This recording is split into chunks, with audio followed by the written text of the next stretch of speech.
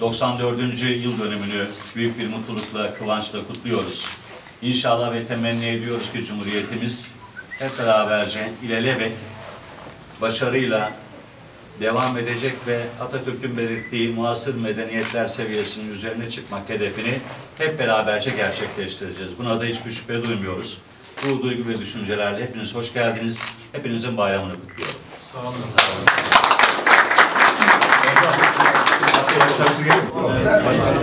Ege aynı kare yaptı.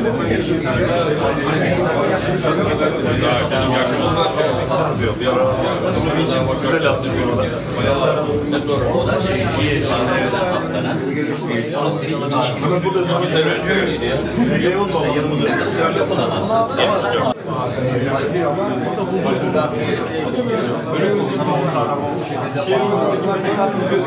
Gurur duymaktır şanlı bir tarihe sahip olduğun için.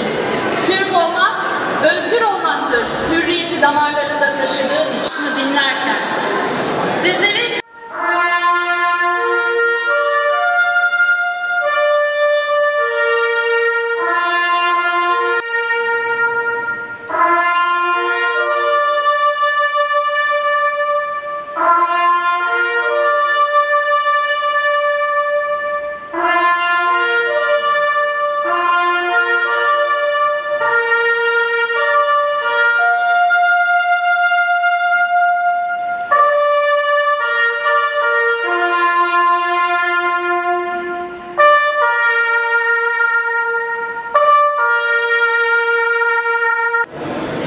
Sevgili gençler bayramınız kutlu olsun.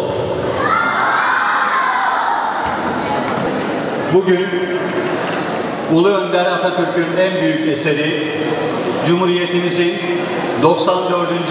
kuruluş yıl dönümüdür. Bu en büyük bayramımız onu sonsuza kadar yaşatmaya and içmiş yüce Türk milletine ve Karasu halkına kutlu olsun.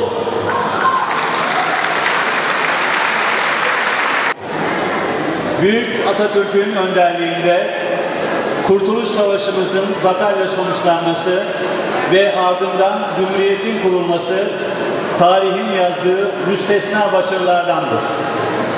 Kurtuluş Savaşı milletimizin var olma savaşı, Cumhuriyet ise yeniden direnişin simgesidir.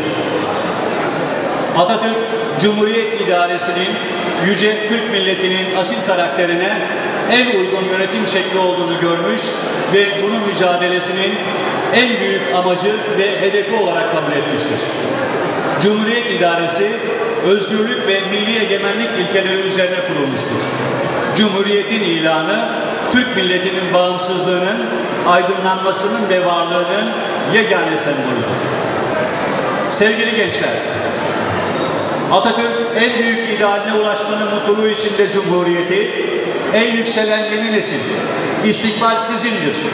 Cumhuriyeti biz kurduk, onu yükseltecek ve idame ettirecek sizlersiniz diyerek Türk gençliğine emanet etmiştir.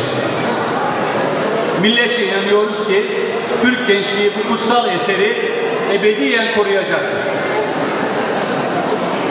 Aziz vatandaşlarım, Atatürk'ün muasır medeniyetler seviyesinin üzerine çıkmak ülküsü bizler için her zaman en büyük hedeftir. Bu hedefe ulaşmak için birlik ve beraberliğimizi korumamız, çağdaş, demokrat ve layık bir yönetim olan Cumhuriyetimize sonsuz bir inançla sahip çıkmamız gerekir. 600 yıllık bir cihan devletinin mirası üzerinde yükselen genç cumhuriyetimiz, genç cumhuriyetimize sahip çıkmak, ülkemizin ve milletimizin geleceği için çalışmak, mücadele etmek, gerektiğinde fedakarlıkta bulunmak hepimizin ortak görevidir. Geçmişi şan ve şerefle dolu tarihimizin bu en büyük bayramını her yıl aynı heyecanla kutlayacağımıza, Cumhuriyetimizi sonsuza kadar korumaya ve yaşatmaya sarsılmaz bir inançla kararlı olduğumuza inanıyorum. Türk milleti bu inanç ve kararlılıkla layık olduğu yere mutlaka ulaşacaktır. Bu duygu ve düşüncelerle Türk milletinin kurtarıcısı ve Cumhuriyetimizin kurucusu Gazi Mustafa Kemal Atatürk ve dava arkadaşlarını vatan savunması için canlarını seve seve feda eden aziz şehit ve gazilerimizi minnet ve rahmetle anarken Cumhuriyet Bayramınızı en içten duygularımla kutluyor, sevgi ve saygılar sunuyorum. Teşekkür ederim.